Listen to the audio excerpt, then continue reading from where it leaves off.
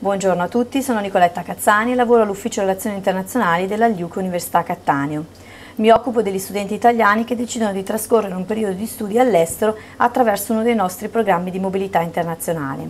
Il programma Exchange offre l'opportunità di trascorrere un semestre, un intero anno accademico presso una nostra università partner fuori Europa.